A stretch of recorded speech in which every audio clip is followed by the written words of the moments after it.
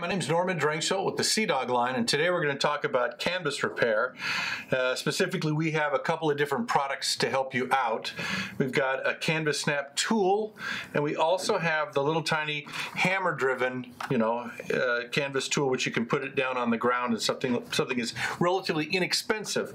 Problem with this is you've got to take your canvas down. We do a pair of pliers, and you can do this with both the uh, cap and the flat backside, either one so it's a socket or stud.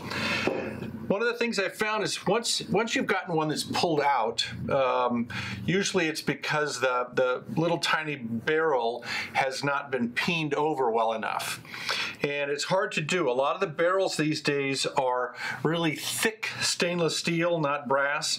So I found a little tiny pair of um, uh, nips or cutters like this can allow you to just score a little bit on each side like this, which again, when you go back through the cloth, now, even though you can't tell, it has a little bit of a score.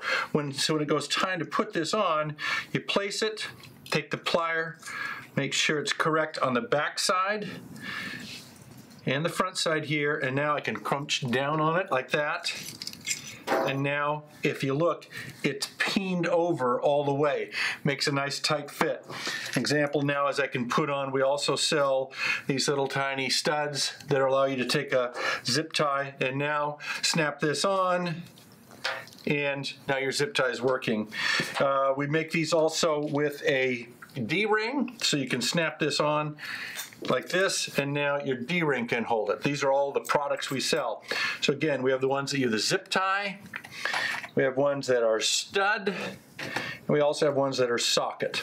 Our little kit that you see right here comes with all of those, including a little tiny tool. You can see all of our products at sea-dog.com. Safe boating out there. Thank you.